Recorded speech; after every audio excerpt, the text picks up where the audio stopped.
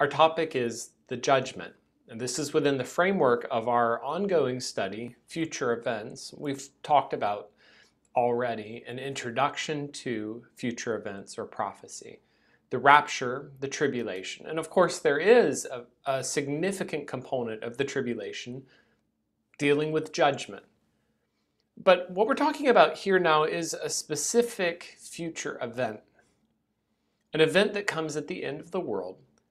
And it is an event of justice or of God setting things right. So let's start with this as kind of an introduction, or a, let's just imagine a hypothetical conversation.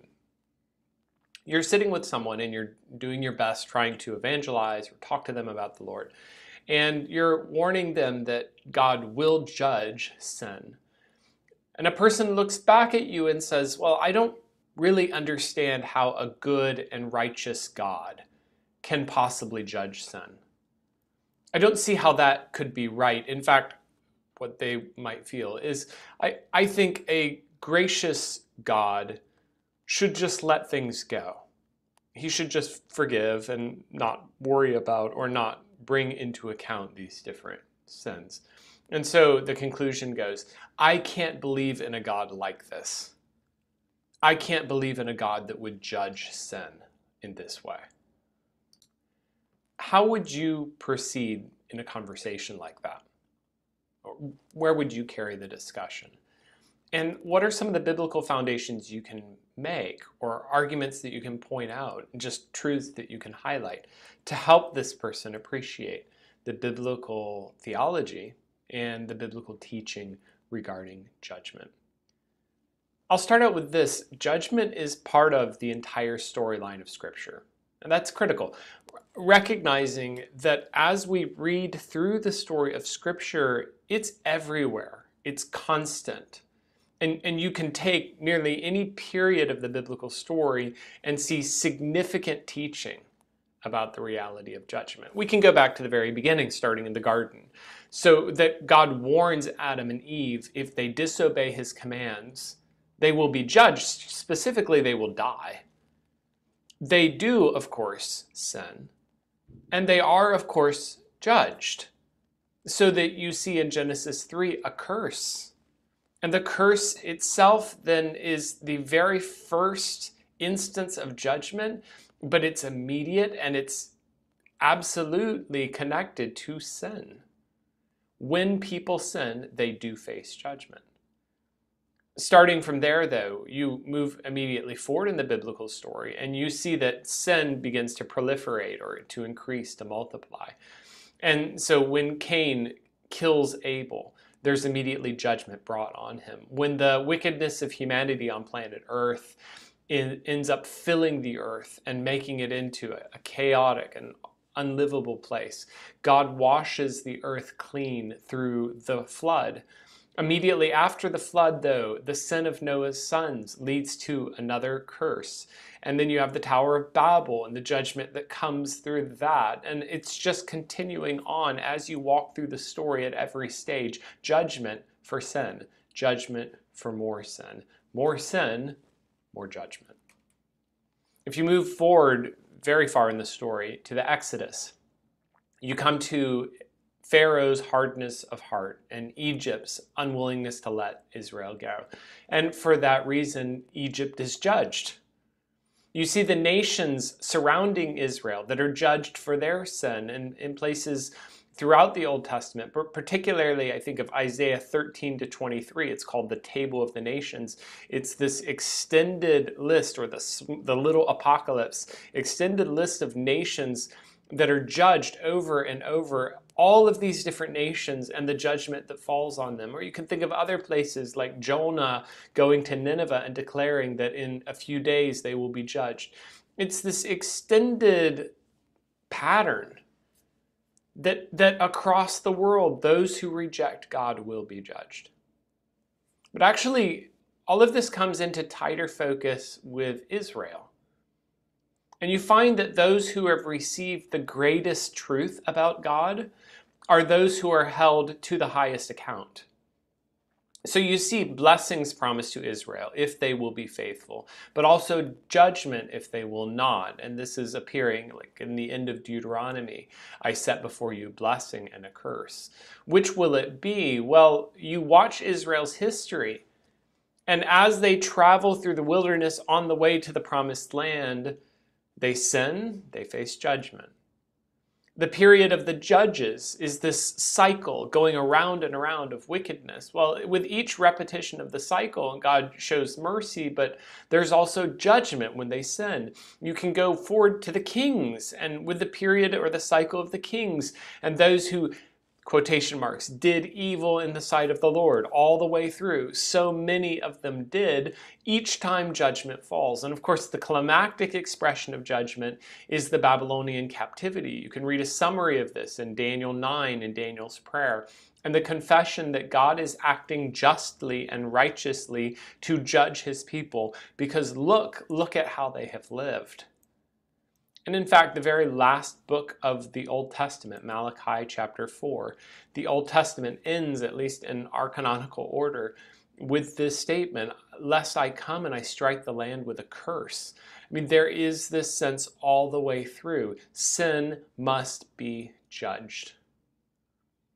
Now, you might expect the New Testament to turn and move away from all of this dark and depressing side into something hopeful and optimistic and, uh, optimistic and encouraging. But actually, the theme of judgment continues. So you find both John the Baptist and Jesus warning that judgment is coming. John says, Matthew 3, He will clear his threshing floor, he will gather his wheat into the barn, the chaff he will burn with unquenchable fire. It's sharp. Jesus warns similarly of judgment, and he actually is part of the judgment. When you see Jesus cleansing the temple, it's very evident that Jesus has come to judge. And as we'll see in a bit, Jesus is the judge. Following Jesus' death and resurrection, watch the apostles' preaching, I think particularly of Acts 2. And as Peter proclaims to people that listen the, the, the gospel, and hope and the reality of Jesus as Savior, he also warns them that judgment is soon to come. And, and the warning goes repent now while you have the chance, because very soon what we face is blood and fire and vapor of smoke. The, turn, the sun turned into darkness, the moon turned into blood. So here comes the day of the Lord. Repent now. Now, uh, move into the epistles and talk about theology as we express it in the epistles, and, and you'll find that this theme is still here. So that when we're talking about judgment, we can link this directly to salvation. Why do I need to be saved? Or what's the concept of being saved? And we kind of lose the concept because we just use the wording without thinking about the underlying meaning. But saved, you're delivered from something. It's, it's as though you're drowning, someone pulls you out before you go down. To be saved is to be rescued. What am I rescued from? I'm rescued from God's righteous wrath. And you can see this particularly uh, walk through the book of Romans. The wrath of God has been revealed against all unrighteousness and ungodliness of men who suppress the truth in unrighteousness, Romans 1:18. But you can just walk through Romans looking for this pattern of wrath, and it's everywhere with the recognition that sin demands a solution because sin demands wrath. All sin must be judged. It's only righteous that it would be. In fact, as we will continue to unpack, the whole framework of the New Testament is that God's wrath is coming. And that the answer to that wrath can be none other than Jesus, the propitiation, centered again in Romans, Romans 3 25 and 26. Jesus stands in as propitiation to deal with the righteous wrath of God. In fact, this topic of judgment is at the core of the gospel. Apart from this concept of judgment, there is no gospel and there is no hope.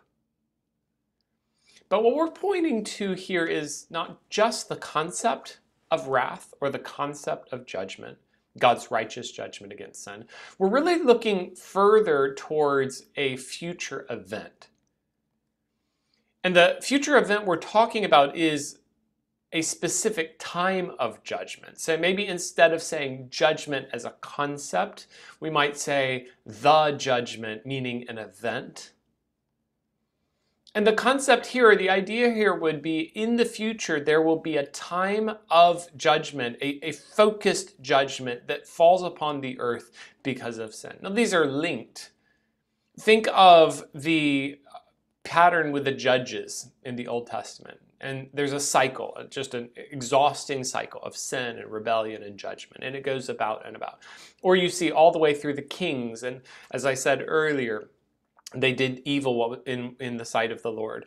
And that continues on with a constant warning, the prophet saying, You will be judged. Sin is always going to be judged. You must be judged. It's kind of the constant warning. It's around the corner. It's around the corner. And of course, there are hints already of judgment within the judges. You see judgment falling across through the kings, you see judgment falling. But there is also this strong sense of kind of a delayed judgment. In other words, you're experiencing some of the judgment, but the full outpouring of God's wrath is held back mercifully.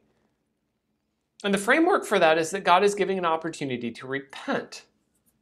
So the judgment is withheld, the judgment is restrained, there's extra time given. The judgment is coming, it's around the corner, but he's waiting. And that concept, I think, can be extended right across to the future judgment. It can be extended to the final and, and absolute judgment of the world.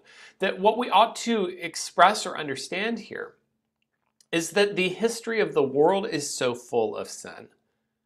That just as God delayed across the period of the kings and he waited until finally the full judgment fell at the exile, in a similar way, you can just you can just stretch that across the entire history of the world to say through human history we have been storing up judgment. But the judgment will come. It will fall. When it falls, it will be crushing. You see pointers to this already in the Old Testament. You, you see a sense of judgment like a courtroom. Daniel chapter 12 describes everyone who has died coming awake or awakening, coming to life. But some awake to everlasting life, some to awake to shame and everlasting contempt. In other words, there's a division. There are two different categories here, two different types of people or two different types of fate that they face, depending on their responses to God. Jesus extends the same warning, and now we're talking about John chapter 5. Jesus warning that the hour is coming when all of the dead will awake, when they will hear the voice of the Son of God. And that itself, I think, is very striking that Jesus is the center of this judgment, or Jesus is the one who will call all men to account. All men will awake, they will hear his voice. As the Father has life in himself, he has given the Son to have life in himself, and he has given him authority to execute judgment also because he is the Son of Man. Marvel not at this, for the hour is coming in the which all that are in the graves shall hear his voice and shall come forth. They that have done good unto the resurrection of life, they that have done evil unto the resurrection of damnation. It's very parallel to Daniel chapter 12. I think intentionally parallel to that language. And Jesus continues on, I am the one who judge, judges. My judgment is just. I seek not my own will, but the will of the Father who has sent me. Jesus Christ is the future judge, and all of humanity will be judged righteously in his judgment. But I think this pattern of the coming judgment leads us to ask some other questions. And there are a number of things we might want to know about this coming judgment. For instance, who is the judge? What will the judgment be like? When will the judgment happen? What is the judgment based on? What is the purpose of God's judgment? In all those all of those respects, I, I think we have questions that we want answered, and we need to have answers based on Scripture. How would we understand the judgment or the future judgment in the full context of Scripture and what this means? Well, let's start with the first question Who is the judge? And what does this look like in terms of the coming judgment? A couple of things we should say here. First of all, who is the judge? Well, only God can judge the world. That should be clear enough. And we see this, of course, illustrated across Scripture. So Abraham confesses, the judge of all the earth will do right. Psalm 9 talks about the Lord establishing his throne for justice, and he, judge, he judges the world with righteousness. Revelation 20 describes God as the one sitting upon the throne, and specifically as the judge. And you can read about this particularly in Revelation 4 the throne, the throne, the throne. But it's throne in the sense of his reign as king, as well as throne as the judge. And you see both of them linked together, and we'll see that pattern as we keep on going. Peter also talks about the Father as the one who impartially judges according to each one's deeds. In all of these cases, it's very evident that it is God who is the only rightful judge. Only God can judge. Okay, this is where it gets interesting though. Because though, and, and yes, God is the only rightful judge, we also discover that Jesus judges the world. And, and of course, I think you can see where the logic of this goes. If the only person who could rightfully judge the world is God himself, it's a divine right. It's, it's only through divine authority. Who else would you trust? And yet, when I get further in the New Testament, I discover that Jesus is the judge, that Jesus can righteously judge the world. It's telling me something about Jesus. Let's watch how this develops and then let's fill out the idea. So John 8:16, Jesus says, "If I judge, my judgment is true, because I'm not alone, I and the Father who sent me." Okay, so connected so closely, inseparably actually, with the Father that he is able to speak of judgment because God judges and because Jesus' judgment is righteous. Here it is in Acts, Acts 7, 13, 17, 31. God has appointed a day in which he will judge the world. Okay, well, that sounds fair enough and straightforward enough so far. We know that God is the judge. We've already seen in multiple places that God will judge the world. Okay, fair enough. He will judge the world in righteousness by that man whom he hath ordained, whereof he hath given assurance unto all men, and that he raised him from the dead. So God will judge the world through a man. What man? Well, Jesus Christ, the full humanity of Christ. And Jesus will judge the world. 2 Corinthians 5, we must all appear before the judgment seat of Christ. The judgment seat of Christ. 2 Timothy, I charge you before God and the Lord Jesus Christ, who will judge the quick and the dead. There's some ambiguity in here. Who will judge the world? God and or the Lord Jesus Christ? And I think the ambiguity is just accepted as it is. God and the Lord Jesus Christ. Who will judge the world? Who will judge the living and the dead at his appearing in his kingdom? However, this language right here, his appearing, is really linked to Jesus' return. I mean, if anything, the argument here is that Jesus is the one who will judge. Jesus is the eternal and righteous judge of the world. Now, you can see, as I said already, and as I pointed to, that the logic of this goes in a very strong direction. If the only person who could rightfully judge the world is God, and if Jesus is the eternal or future judge, the final judge, then there's no question here that this is an argument, a very strong argument for Jesus' deity. Who can he be? How can he be anything less than God himself? Jesus will judge the world. Only God can judge the world. Jesus is God. There is a final pattern and the extension of this pattern is that together with Christ, believers will also be part of judging the world. Now, I have to protect the logic I just used a moment ago to recognize that. To say believers will judge the world does not prove that believers are God. In fact, the notion of this is that it's believers ju- judging alongside of God Himself. God is the authority God is the judge, the central judge. God is the one who judges the world. I think the concept of believers' part in that has two connections, and one is a union with Christ concept that we've seen in other places. So that what is rightfully Christ's, what rightfully belongs to him, is now shared with those who are his followers because we are united with him. Along with that, though, is the idea that as you walk through these patterns, we are not judging in the same way that Jesus judges. We are not the judge. And there would be the difference. Who is the judge of the world? Who is the one who sets forth justice? Well, God alone.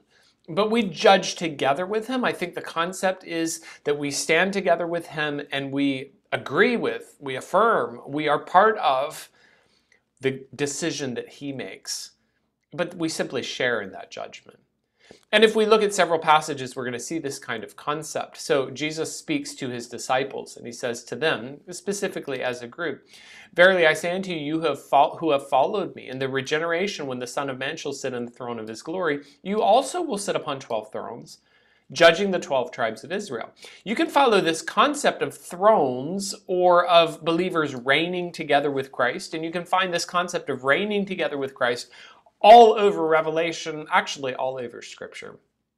So this is a very strong pattern. What's interesting about the concept of thrones or reigning together with Christ is how this passage links that. Here are the thrones, but part of the thrones are the reigning, the kingly sort of concept.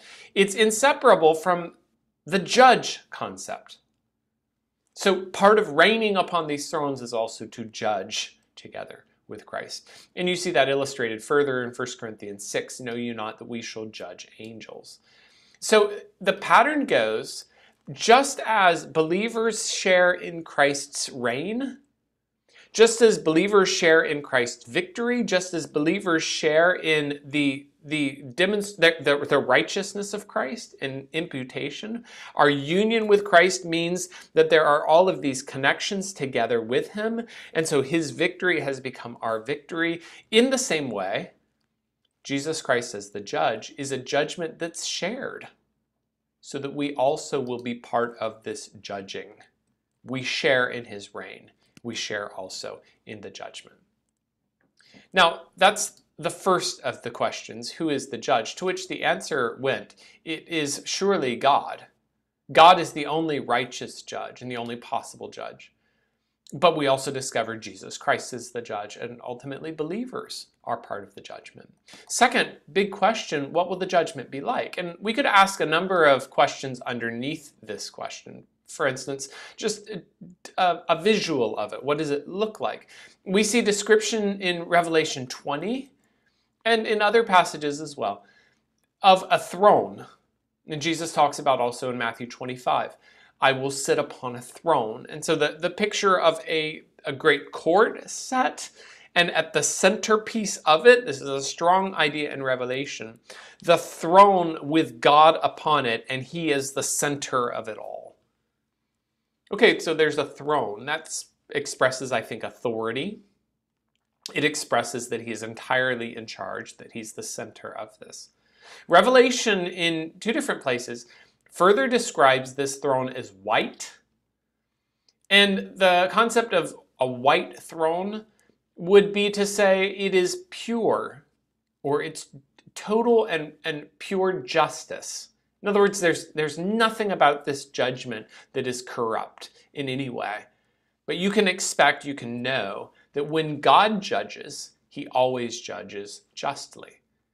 And finally, we could just recognize another description that happens in two passages describing a judgment seat. This is slightly different language, but it's using pictures from the Roman law court and the culture of justice in Rome. And so the picture is of a Roman courtroom and the way that would be set up, the place where the judge sits. Again, related to the concept of a throne. At the same time, I want to push back a little bit if we bring in too many categories from our modern concept of justice or of courtrooms, then I think we lost something. And the reason that we would want to adjust that, modern courtrooms, by and large, rely on an adversarial process Okay, the way the courtroom is set up, you have lawyers advocating on behalf of the client. You have other lawyers that are prosecuting, so they're bringing charges. And you do that because you want to, to make sure that you got both sides of the story. And so the judge needs to hear evidence or argument from both sides, and the hope is that both by both sides presenting their view, maybe we'll come out closer to the truth.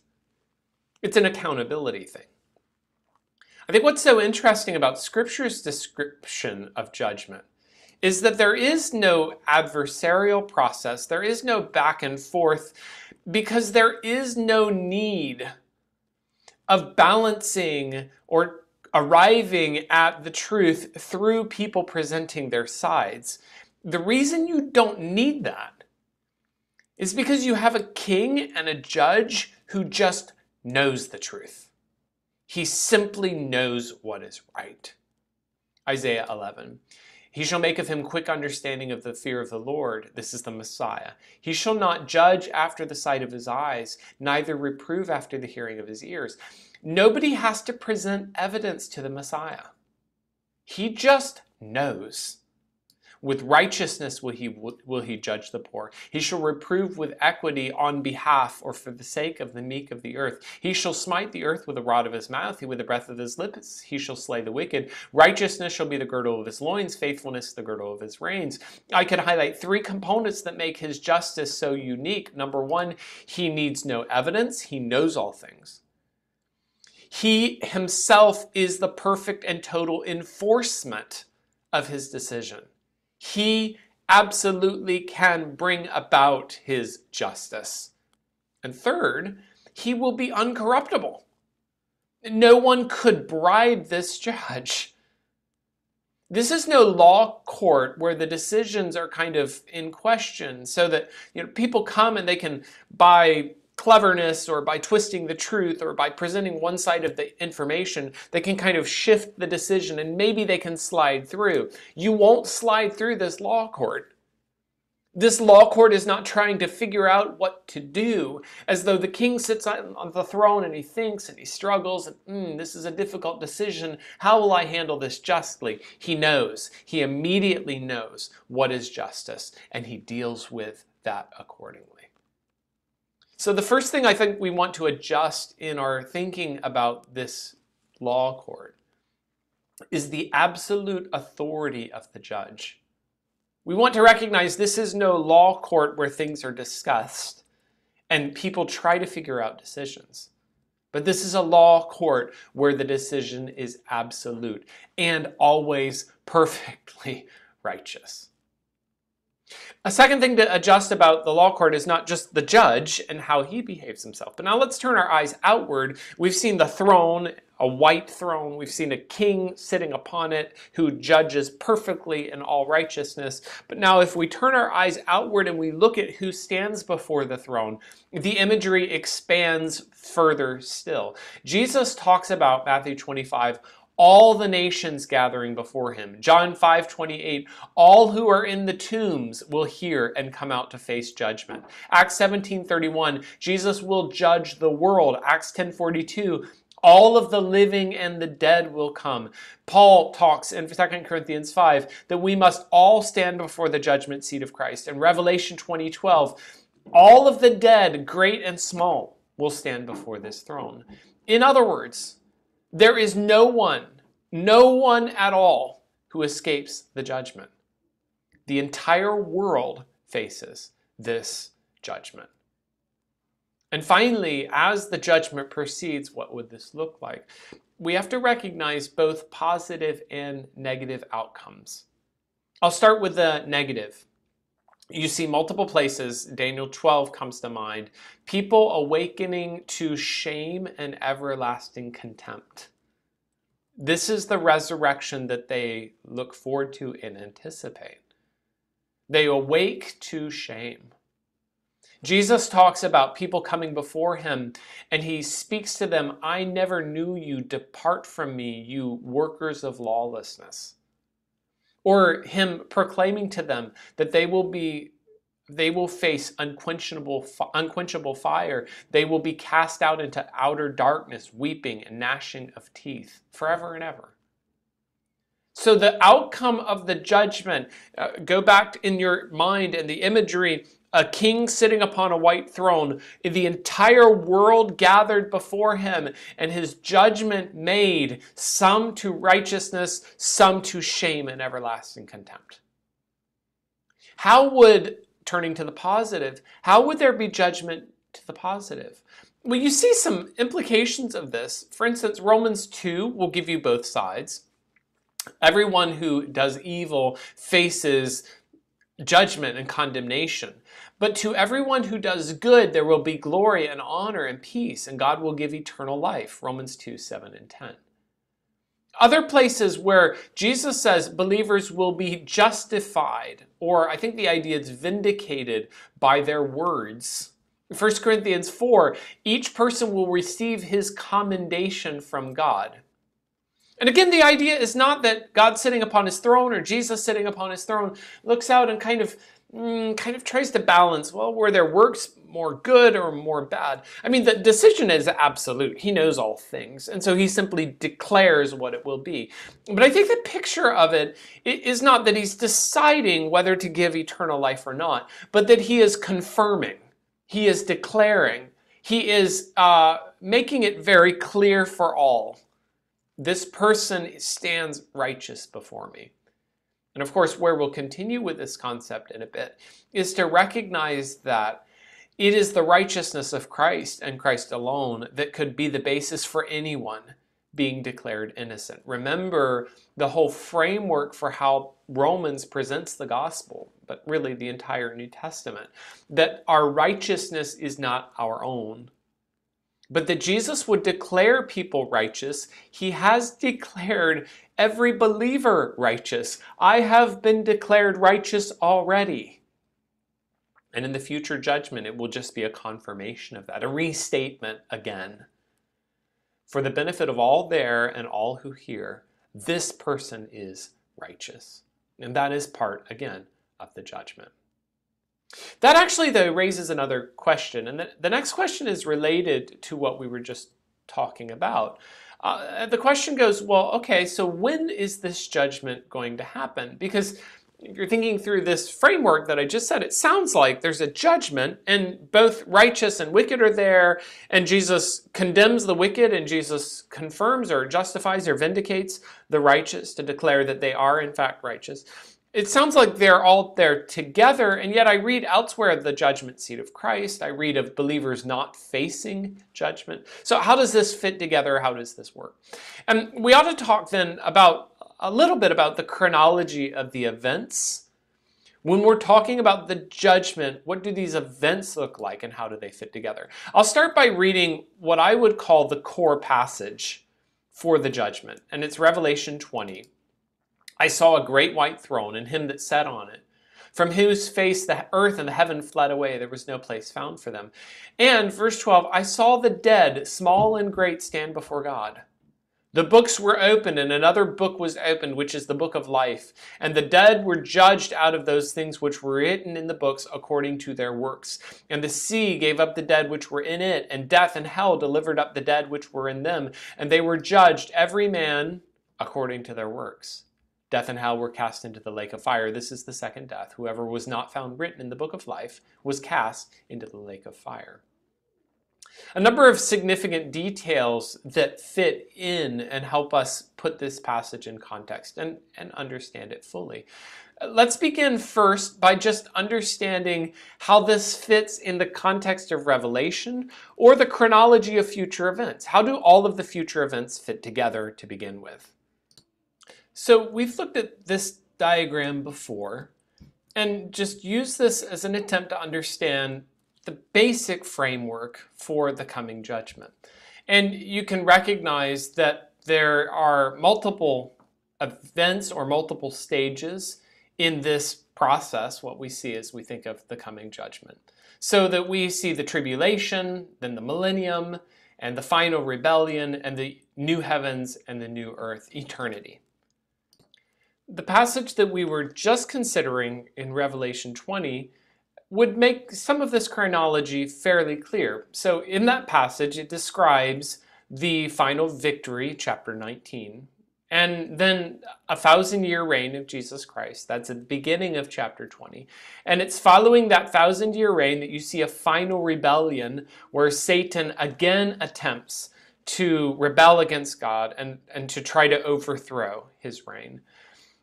It's following that final rebellion right here and before the new heavens and the new earth, apparently, that we see the description of the judgment. And if that's the framework that we use here, then the most natural reading of it would be that the judgment falls here, that the judgment to come is this event connected or just right after the final rebellion. If then that's the framework, we start to ask some other questions because it does start to get a bit more complicated. And you can recognize, for instance, that there are descriptions of other judgments in Scripture. So we've already seen some of them. Believers coming, for instance, before the judgment seat of Christ. It's not judgment in the sense of them being the possibility of them being condemned. It's a separate and very different kind of judgment described as giving account giving an account to God for their faithfulness in the different ways that he asked or that he expected of them to serve him. Or you see something similar with the judgment of angels. Believers will judge angels, and it, we would assume, we would think that somehow the, the judgment of unbelievers would be separate from this giving account for believers, and that itself would be separate from the judgment of angels, since believers are part of the judging of angels. In other words, there are enough differences here that we can look at these judgments and have a sense that they are separate judgments, or seem to be, rather than just one.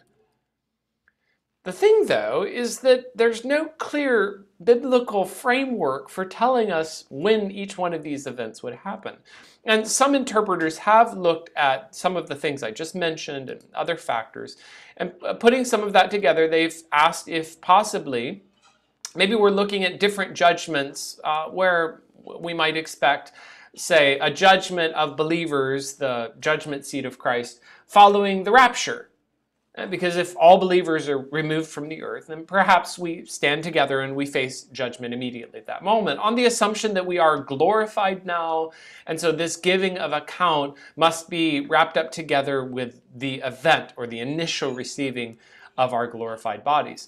Questions come to mind though, because we continue to have believers and believers throughout this era, people that are newly trusting in Christ. And so, someone who trusts in Christ during that era, when would they be judged? Uh, presumably, do you have another judgment seat of Christ again later on for those people? I, I don't know.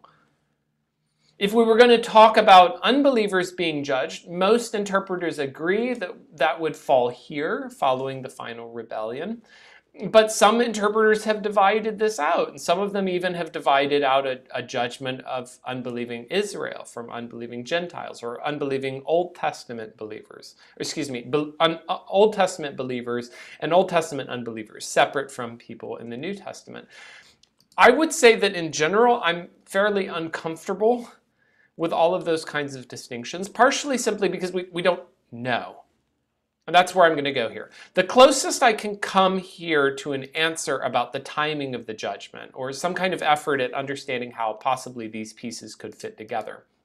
You'll notice, going back to this diagram again, that Daniel talks about some kind of transition period, a period of 45 days around this period when Jesus Christ sets up his kingdom and there's a possibility that some of the judgments might be happening in this period because we have a 45 day period of kind of things being set right somehow. So, is that possibly part of the equation? I could imagine that being true. Beyond that, I don't really have any other biblical indication of timing or a framework or this judgment coming here and these people judging there, being judged at there and at that time. And I would prefer simply to say that we do not know. My strongest suspicion is that the bulk of the judgment, or most of these judgments, are happening around this period because it is connected to Revelation 20, that following the millennium and the final rebellion, this is really when I expect most of the judgment to happen. And beyond that, I don't really know. And I don't know that scripture makes it possible for me to be so clear about either the timing or how separate each one of these events is. Two other questions. The questions go, what are the what is the judgment based on? And also, what is the purpose of God's judgment? So let's start with this. What is the basis of the judgment? Or what is the foundation upon which this judgment stands? We can pull together a lot of information from across Scripture to recognize that God does judge people according to their works, or that He holds them accountable based on how they have lived. And we're going to find language here about God's judging the righteous versus his judging the wicked. So here is uh, an attempt to put this into table form. Daniel 12 talking about those being resurrected to shame and everlasting contempt, contrasted with those who are wise and those who turn many to righteousness. Jesus talking about the chaff or the weeds versus the wheat. That's illustrative language, but it's giving the sense of someone who's worthy or righteous. The evil versus the righteous, the goats versus the sheep. Those who have done evil facing the resurrection of judgment, those who have done good facing, facing the resurrection of life. And finally, those who worship the beast versus the saints or the holy ones. That kind of distinction is clear enough to say. There are differences in character there is difference in the nature of the person or their righteousness, and that judgment, the judgment is based then on those differences of a person's nature or of their character. Now, that might contrast with something else that immediately hits your mind, which is that might sound a little bit more like a Muslim view of judgment or of a works righteousness kind of judgment. In other words, the assumption that God will look at our works and there will be people who are relatively righteous and people who are relatively wicked. And so God judging out or kind of balancing the good versus the bad comes to a conclusion okay, this person is more righteous than wicked, therefore they inherit eternal life. And, and that, of course, is not fitting into the pattern of Scripture, so that we can walk through multiple passages that make it very clear the way that anyone will stand up in judgment is strictly and only based on their relationship with Jesus Christ. Just to make that clear, let's look at some passages. Jesus says, He that heareth my word and believeth on him that sent me hath everlasting life. He will not come into condemnation. That's a judgment word. This person cannot face that judgment because he's heard my words and he's believed. John 3:18 He that believeth on him on Jesus is not condemned he that believeth not is condemned already, because he has not believed on the name of the only begotten Son of God. John 12, 48, He that rejecteth me and receiveth not my words, there is someone who will judge him. The word that I have spoken, that will judge him on the last day. But it's all predicated, it's all linked to rejecting Jesus, receiving not Jesus' words. So the only standard of judgment is it's very simple. Do you accept Jesus and his words? That is the basis of judgment. Okay, well, fair enough and both clear enough. But the question goes then, how do I put these together? I mean, actually, I'll just swing back the other direction and I'm going to show you another and final set of passages that show you that judgment comes based on people's works and very explicitly and very clearly.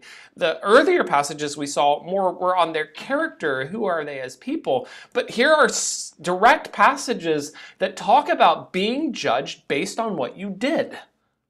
So, First Peter, if you call on Father on, on God as Father, who without respect of persons judges according to every person's work, how will we be judged based on our works? Revelation 20:12. I saw the dead, small and great, stand before God. The books were opened. And the dead were judged out of those things which were written according to their works. Jesus says, Every idle word that men shall speak, they shall give account thereof in the day of judgment. And one other passage I did not include here, but Romans 2 talks about God rendering to every man according to his works. So, to every man according to his deeds, to them who by patient continuance and well doing seek for glory, honor, immortality, eternal life. To them that are contentious and do not obey the truth, but obey unrighteousness, indignation and wrath, tribulation and anguish upon every soul of man that does evil, for the Jew first, also of the Gentile. People will be judged according to their works. And that, that leaves us with a bit of a mental tension or a bit of a question. How do we put these together? How do I understand how they could relate? Actually, uh, there's one other uh, pattern I neglected to show you or forgot to bring up here, and that is the pattern of the books. This is worth noting as well. Just watch the, the pattern of the books being open. Judgment was set. The books were open. What's written in these books? Well, in Daniel 12, everyone that would be found written in the book would be delivered. So it's a sense of if you're written, you have life. And here, whose names are in the book of life. Here it is the name written in the book of life. All that dwell upon the earth shall worship him whose names are not written in the book of life of the Lamb slain from the foundation of the world, talking about worshiping the Antichrist. Here is the book of life from the foundation of the world. And finally, the passage we just read Revelation 20, the books were opened. Here's the book of life. They're judged according to what is written in the books, according to their works. Here's the book of life. Here's the Lamb's book of life. So, all of that emphasis to say that the judgment is not partial, it's not arbitrary, it's not ambiguous. It's not as though the Father or God is or Jesus or that he's looking at this this judgment and he's kind of trying to decide. It's clear, it's objective, that's written in the book of life is your name there. Or another way of saying it, all of the deeds that someone has committed written in these books. It's clear. Okay, but I don't know how to put those pieces together then. is it my being judged according to my works, which sounds a bit more like Islam, or is it my judge ju- the judgment being according to my faith in Jesus? And here I'm going to give several important qualifications that help us understand or put these pieces together. Number one, a foundation of this is that we are judged according to our works. Well, one of the most critical things that Scripture demands that we do is to believe in Jesus Christ alone. In other words, I wouldn't exactly say that this is salvation by works or that you're going to be uh, justified based on your good deeds. But I will say you are justified based on what you do. One of the things, well, the thing that will make the difference of your being justified, did you or did you not believe in Jesus Christ? And it's not that you in that earn your salvation by doing a good work, but it is one of your actions. And it is one of the things that God, it is what God holds you into account for. Did you or did you not believe on him as he commanded and as was only right, the salvation he offered to us? There is also a sense of the works being critical in this judgment because it's a confirmation for those who stand condemned. In other words, no one can come before God and say, you can't condemn me. I was a good guy. I was a nice guy. I, I did all the right things. How can you commend, condemn me? Okay, I never believed on Jesus, but, but I was still nice. And part of the condemnation is that God can bring before people, well, here is what is actually written, and here is the reality of your life. And no, you weren't. I mean, you weren't righteous enough. You did commit sin, and you did resist and suppress the truth that you knew. Third, we can recognize that the specific focus of these passages is on really the condemnation for an unbeliever that that an unbeliever faces this condemnation and their works are the foundation on which they stand condemned. And part of the reason I point this out is that there is a, an asymmetry between these. The passages that talk about unbelievers being condemned by their works, there's a stronger emphasis there and not a corresponding emphasis on the other side to say that believers earn their salvation based on their good works. There are passages that talk about being justified based on what you did, and I would put that in the category of based on your faith in Christ. But there's a stronger emphasis here on the side of condemnation. And I do think that's part of the idea that it is by people's failure or their disobedience that they stand condemned. But actually, the last idea is the most important to me, and this is the center of how I would put these passages or these ideas together. It's the concept that regeneration, faith in Christ, true justification, leads inexorably, absolutely, it must lead to real living. The true fruit of righteousness lived out in a person's life. So that a core part of having truly been justified is that you do it, that you obey, that you follow after Christ. It's the fruit of justification lived out. Regeneration is confirmed when we and, and we confirm that we have been justified when we carry out righteous acts. And those righteous acts then become the proof not the reason but the proof that we have been truly justified. I think that's probably the basis on which scripture will say that people will be justified or condemned based on their works. It's possible for god to point even to the results, what we might call the fruit of the Spirit in a person's life, as proof that something miraculous happened and the demonstration that the justification in their life was real. The final question I want to talk about then is the purpose of God's judgment. And there are reasons that Scripture emphasizes God's judgment, reasons that this is important for us to understand and that it actually helps us helps to motivate us or helps us to be more faithful in our obedience to God. So I'm going to give you first I'm going to give you a total of four reasons, but starting with this, the concept of the coming judgment and the reason that scripture describes it at such length is that it motivates believers to live faithfully. It is biblically part of God's speaking to us and showing us why we must follow him, what we ought to do in order to be faithful. And Romans 14 will describe this. Romans 14 reminds us that we, Romans 14 10, we must not judge our brothers, we must not set it not our brothers, for we will all stand before the judgment seat of Christ. Okay, this judgment, this coming judgment, becomes a motivation for loving one another.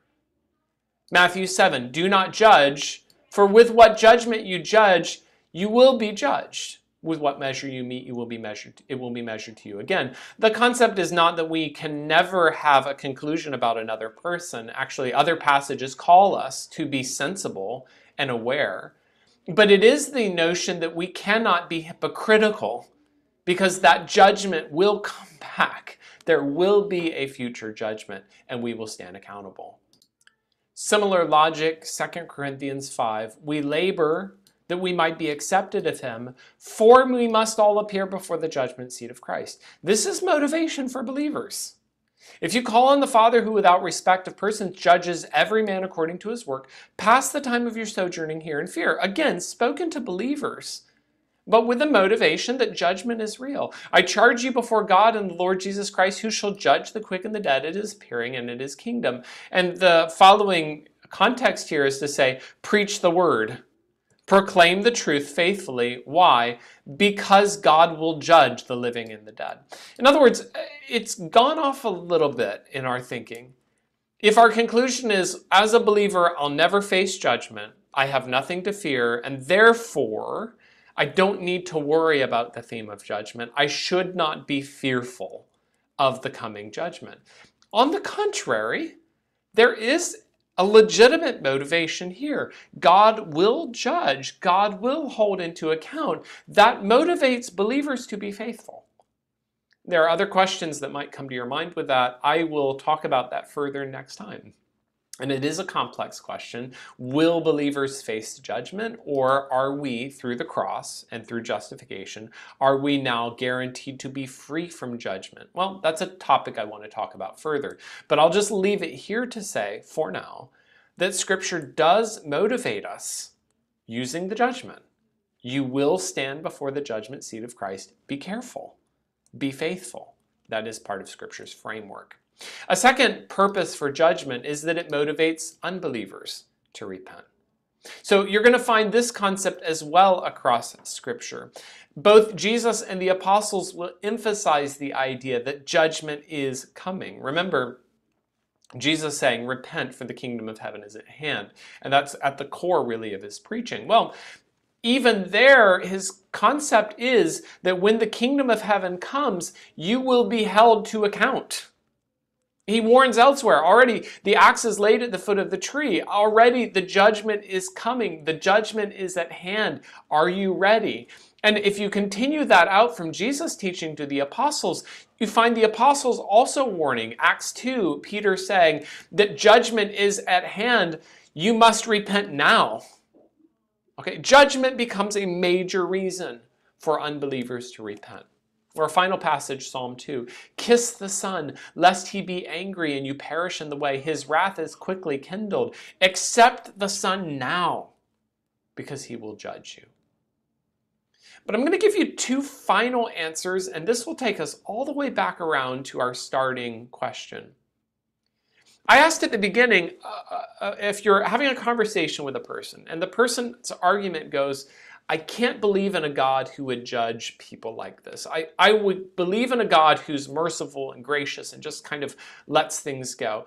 But a God who judges for sin is that's too much. I can't do that.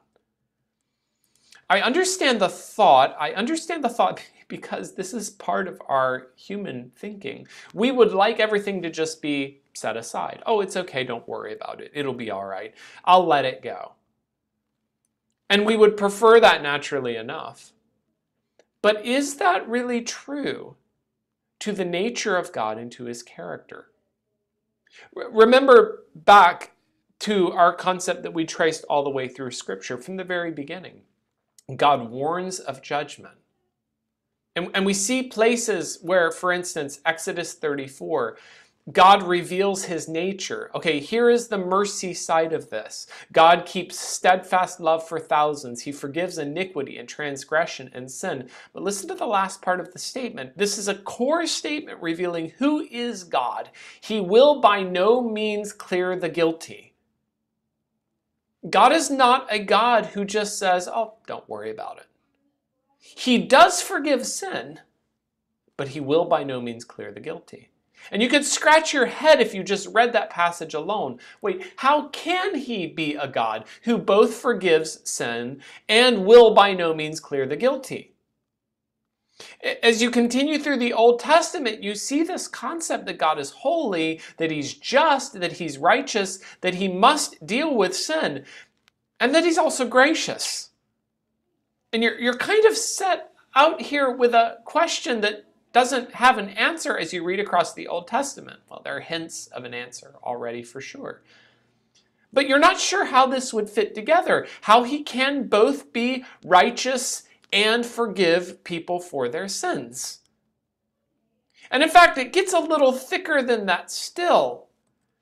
Because it's the recognition that for him not to judge sin would itself be a denial of his holiness and his justice.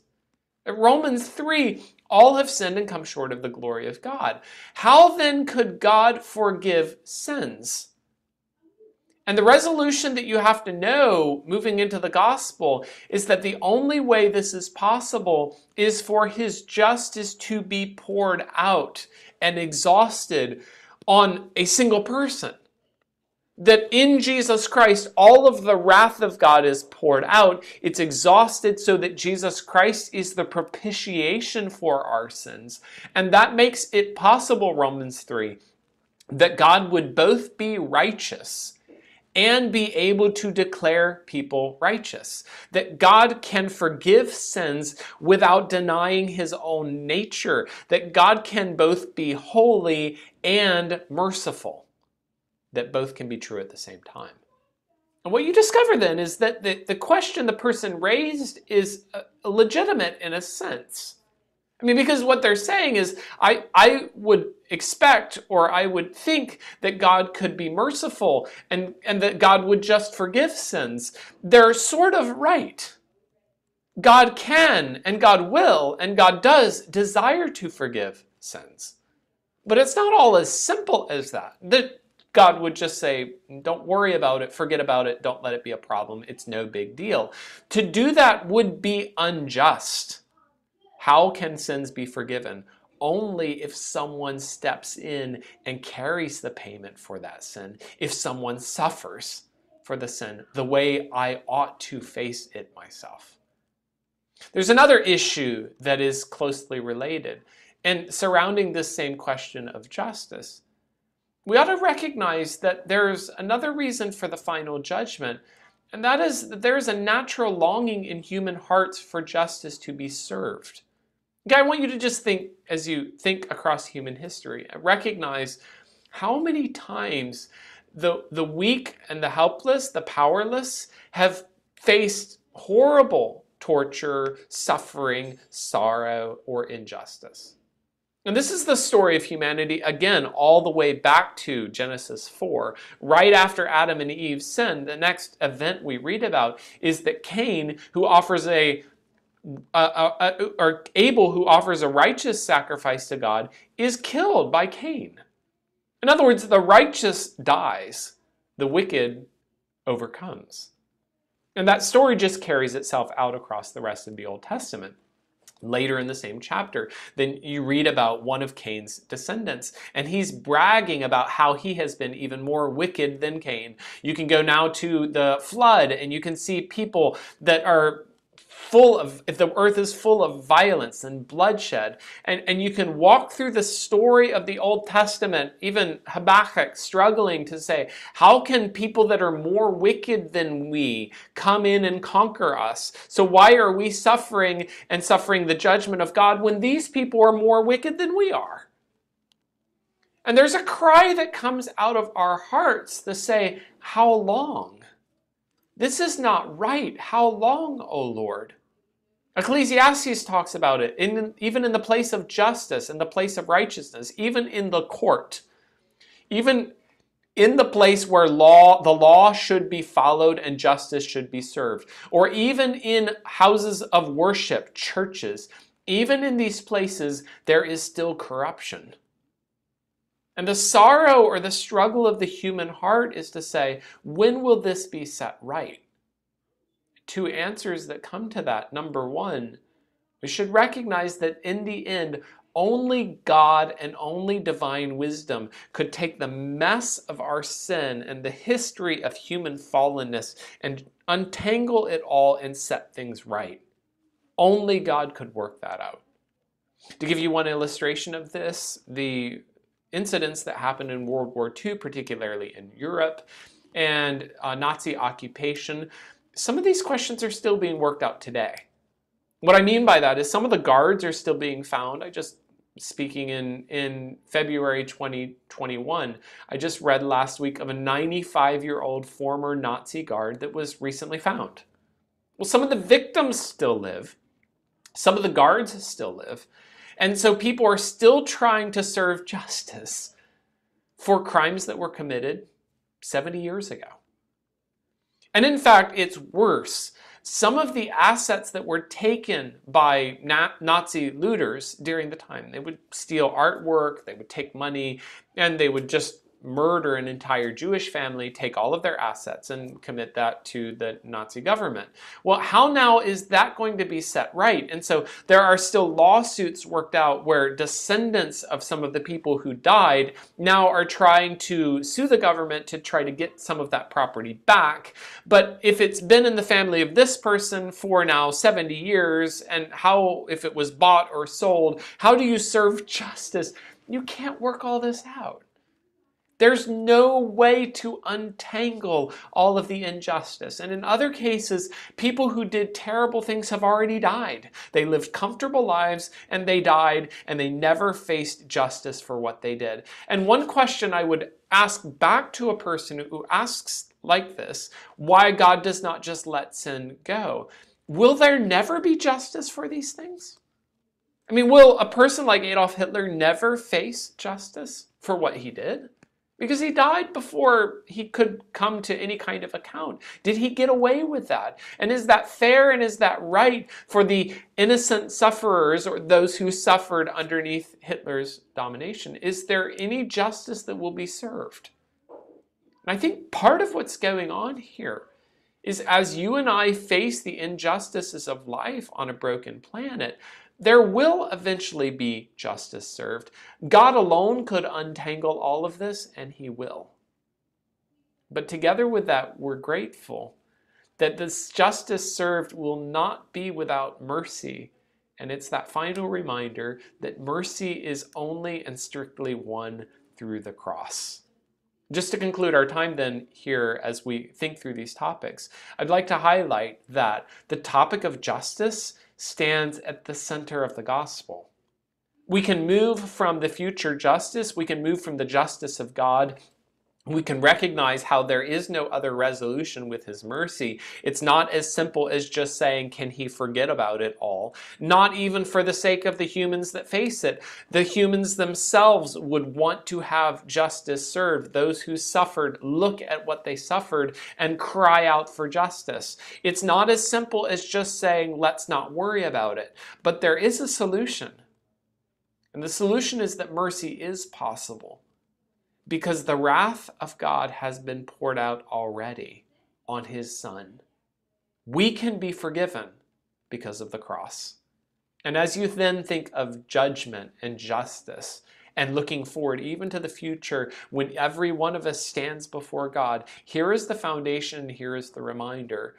Even this event, justice and judgment, absolutely and entirely points to the center of judgment and justice. The moment when, in all eternity, the greatest outpouring of judgment happened. This was it.